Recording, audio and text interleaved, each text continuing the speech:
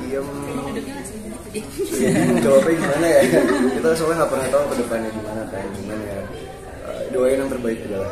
Dan dirimu tipikal orang yang selalu memperkenalkan siapa pun tentang perempuan pasti pasti pokoknya kalau aku udah ngajak ketemu sama keluarga itu berarti ya um, apa ya udah mau lebih serius lah bukan cuma sekedar teman atau sahabat sahabatan karena kepingin lihat gimana ke keluarga aku terus respon keluarga juga gimana. Karena kan bagi aku keluarga aku penting banget ya. Jadi ketika misalnya kita nanti menikah kan keluarga aku jadi keluarga dia keluarga dia jadi keluarga aku. Jadi lah kepingin di kemudian hari ada masalah. Misalnya dari kitanya nggak ada masalah tapi dari keluarga ada masalah kan nggak enak banget. Gak bisa memberikan lampu kuning nih, belum lampu hijau. Baru lampu Oh?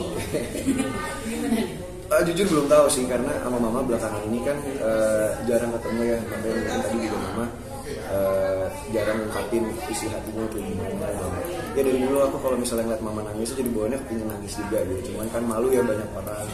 Eh, jadi kalau untuk cewek sendiri atau pasangan sampai saat ini mama belum ada ngasih komen yang gimana gimana gitu. Baru kalau misalnya dikenalin yang kayak oh iya mana kok nggak diajak lagi? Baru gitu. Cuman belum ada ngobrol yang iya kak kayaknya yang gini gini tuh belum.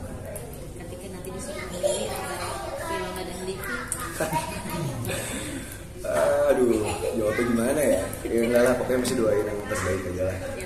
yang masih berharap, ada ya. Apa? masih berharap dengan Filona. Uang Kayaknya lah. kita doain semua ya. Kenapa begitu? Em, masih nggak berharap dengan film ya pasti aku berharap dikasih jodoh yang terbaik aja sama Allah gitu aja. Tapi aku nggak menutup kemungkinan kan bisa aja siapa pun ya. Tapi target sendiri dari kamu sendiri ada nggak umur berapa? Ada sebenarnya aku berharap dengan udah jadinya rumah ini tuh di umur sekarang aku udah ada pasangan gitu. Cuman kan ya atau mungkin akunya yang kurang ini kali ya kurang kayak kalau ngeliat teman-teman aku kan tiap minggu gonta ganti coba ngedit sama ini ngedit sama ini mungkin aku ya. iya nggak karena kalau aku ngerasa mungkin itu titik aku dulu pas masih umur belasan tahun Nah, kalau sekarang kayaknya kepingin yang lebih subtle aja gitu loh yang lebih ya udah kalau satu ya udah satu aja terus coba jalanin dulu bisa apa nggak kalau nggak ya udah nggak kepingin yang nyoba-nyoba lagi gitu loh. Berarti saat ini menjalani sama siapa? ya adalah. Di antara dua orang itu siapa? adalah pokoknya. nanti aku ngomong salah lagi. Ada yang bilang wajahnya mirip nih sama film. Masa? Iya. Iya. Lumayan julid ya kakek satu ini